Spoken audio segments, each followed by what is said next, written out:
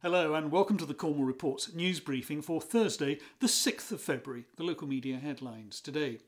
Cornwall Council is to set up a new arm's length company to intervene in the adult social care market. It'll employ around 350 people and have an annual budget of £10.5 million. And on the face of it, it appears to herald a return to the sort of direct provision of adult social care which used to exist 30 years ago.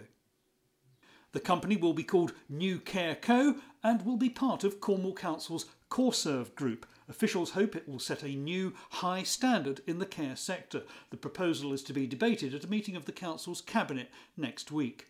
Cornwall Reports also covered the Liberal Democrats' official quest to find candidates for next year's council elections, and the publishers of the Cornwall Live website, who had been experimenting with asking readers in Huddersfield to pay to access content, have given up. It means that Cornwall Live will almost certainly remain free to access, paid for by advertising.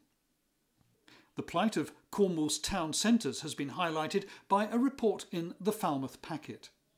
The former Marks and Spencer's store, once a giant in the local retail sector, is now just another empty building for sale for £2.5 million. It was one of 14 Marks and Spencer's to close last year.